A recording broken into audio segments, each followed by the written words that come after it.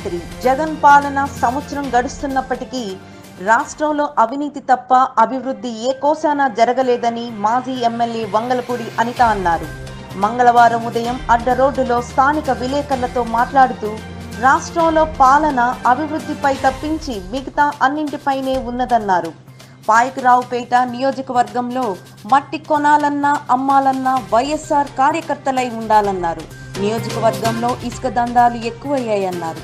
TDP హయాంలో tractor ఇసుక రెండు వేల నుంచి మూడు వేలకు ఉంటే ప్రస్తుత పాలనలో ఏడు వేల వరకు పెట్టి కొనాల్సి వస్తుందని మిగతా డబ్బులు ఎవరి జేబుల్లోకి వెళుతున్నాయో తెలియరాలేదన్నారు.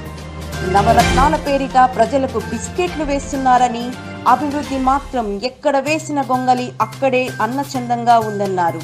రంగులు మాత్రం అన్నింటా వేస్తున్నారన్నారు. జగన్ గురించి కానీ నాయకుల గురించి కానీ మాట్లాడితే కేసులు బనాయిస్తూ బెదిరింపులకు పాల్పడుతున్నారన్నారు. అప్పటికి దారికి రాకపోతే మరింతగా తెగించి నాన్ బెయిలబుల్ కేసులు నమోదు చేస్తున్నారన్నారు. మహిళను కూడా చూడకుండా కేసులు నమోదు చేయడం ఎంతవరకు సమంజసమని ప్రశ్నించారు. పోలీసు వ్యవస్థ అంటే గౌరవం ఉందని ఏ పార్టీ అధికారంలో ఉంటే ఆ నాయకుల మాట వినే పరిస్థితి కాకుండా చట్ట ప్రకారం నడుచుకోవాలని సూచించారు.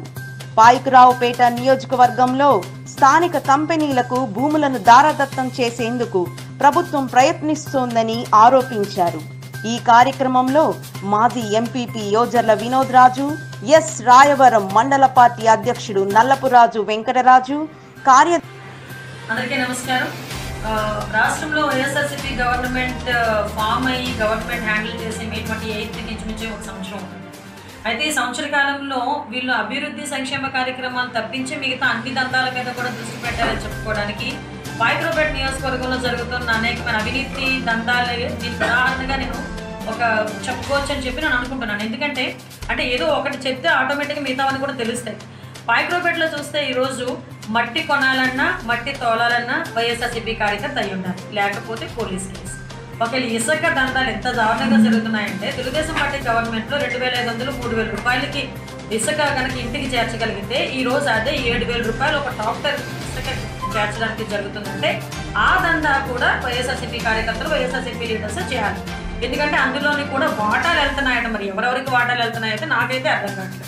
ఇంకొకటి ఏంటంటే గోదావరి నుంచి వచ్చిన ఇసుకకి కిరాయి సుమారుగా పదకొండు వేల రూపాయలు ఒక లారీకి ఇస్తే ఇక్కడ ఎవరైతే తీసుకుంటున్నారో కొనుక్కునే వాడికి దగ్గర దగ్గర ఇరవై మూడు వేల రూపాయలు గోదావరి ఇసుక అమ్మే పరిస్థితి వచ్చింది.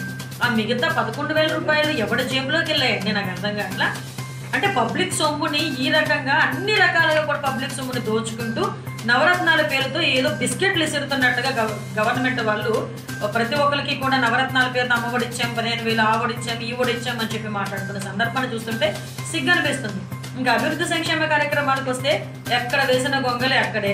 కాకపోతే రంగులు మాత్రం ఎంత చక్కగా వేసుకున్నారంటే ఒక తట్ట ఇసుక తీసి అటువైపు వేయలే వేయలేని చేతకాని వాళ్ళు కూడా బ్రష్లు పట్టుకుని రంగులు వేసుకున్నారు తప్పించి అంతకుమించి వేరేది ఏది ఇక్కడ జరగట్లేదు. పైగా వైఎస్ఆర్సీపీ కార్యకర్తల గురించి కానీ జగన్మోహన్ రెడ్డి గారి గురించి కానీ ఎవరైనా ఏమైనా మాట్లాడితే వాళ్ళ మీద ఎన్ని కేసులు పెడుతున్నారంటే బెదిరించడం భయపెట్టడం ఆఖరికి పార్టీలోకి రమ్మని చెప్పి ఒత్తిడి చేయడం ఇవేమి ఎవరు కూడా వినకపోతే వాళ్ళ మీద ఏదో జగన్మోహన్ రెడ్డి గారిని అలా తిట్టావు జగన్మోహన్ రెడ్డి గారి మీద పోస్టింగ్ ఇలా పెట్టావు లేకపోతే ఏదో ఒక గొడవ సృష్టించి వాళ్ళ మీద నాన్ బెయిలబుల్ కేసులు పెట్టే పరిస్థితి వచ్చి ఒక భయానక వాతావరణం సృష్టిస్తున్నారంటే అసలు ప్రజాస్వామ్యం ఎక్కడుంది ఈ ఆంధ్రప్రదేశ్ రాష్ట్రంలో నేను అడుగుతున్నా.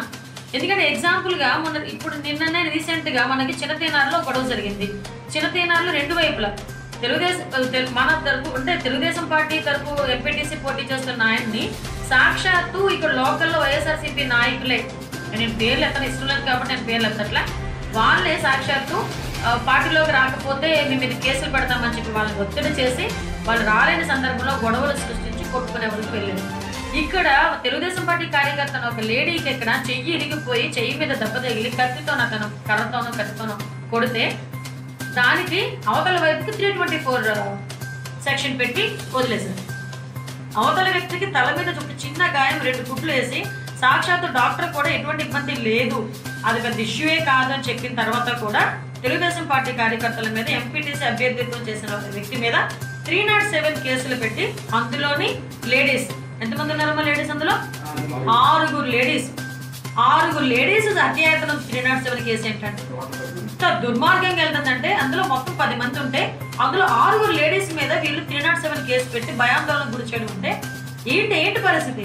ఇదేనా వీళ్ళ తాలూకా? అంటే ఒక ముఖ్య ఒక హోంమంత్రి ఒక లేడీకి ఇచ్చేసాము లేకపోతే ఒక ఇద్దరు ముగ్గురు డిప్యూటీ సీఎంలు ఇద్దరు ముగ్గురు లేడీస్కి ఇచ్చేసామంటే ఇంకా అయిపోయిందా?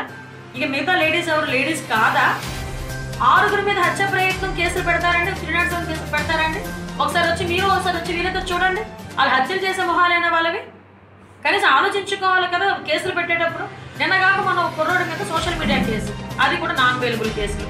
అంటే వీళ్ళు ఎవరైనా టార్గెట్ అంటే వీళ్ళు చేసే తప్పుల్ని ఎవరైనా కూడా మాట్లాడితే వాళ్ళ మీద కేసులు. వాళ్ళకి ఒక్కరికైనా భావ స్వేచ్ఛా ప్రకటన అంబేద్కర్ గారు ఇచ్చారు. ఏ మాకు ఇవ్వలేదా భావ స్వేచ్ఛా ప్రకటన అంబేద్కర్ గారు? మాకు ఇచ్చారు. నువ్వు చేసిన తప్పు అని చెప్పి చెప్పే కార్యక్రమానికి ఈరోజు సాక్షాత్తు అరవై ఆరు సంవత్సరాల ఒక ముసలామె మీద ఈరోజు సిఐడి వాళ్ళు కేసు పెట్టడం. ఇది ఎటువైపు వెళ్తుందో కూడా మాకైతే అర్థం కాదు. అంటే దయచేసి అర్థం చేసుకోవాలి ఇప్పుడు. పై పైగా తిరిగి చంద్రబాబు నాయుడు గారి మీద చంద్రబాబు నాయుడు గారు తెలుగుదేశం పార్టీ కార్యకర్తల మీద అవాకులు చవాకులు వేసి మాట్లాడుతున్నారు. నిజంగా కేసులు పెట్టుకోవాల్సి వస్తే సోషల్ మీడియాలో కేసులు పెట్టుకోవాల్సి వస్తే ఓ పని చేయండి. మా మీద వాళ్ళు కేసులు పెట్టు మా మీద అవాకులు చవాకులు మాట్లాడిన వాళ్ళ మీద చంద్రబాబు నాయుడు గారి మీద మాట్లాడిన వాళ్ళ మీద కూడా కేసులు పెట్టండి. మేము కూడా పోలీస్ వ్యవస్థను కూడా మేము గౌరవిస్తాం.